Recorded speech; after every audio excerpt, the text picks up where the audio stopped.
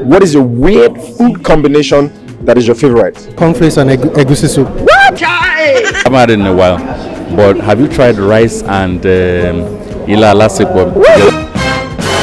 Mine is actually white rice, okra, and Ah. stew. And I feel like you know, this, when I say white rice, it's like brand new white rice from the pot, like not, not the one that you microwave. Brand new, brand new um, okra soup, you know, with dawa dawa inside, crayfish, mama. Rice and okra. Mine is agbalumo and amala. No be juju be that.